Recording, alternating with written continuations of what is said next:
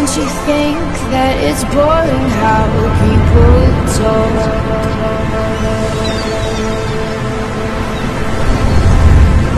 Making smart with their words again Well, I'm bored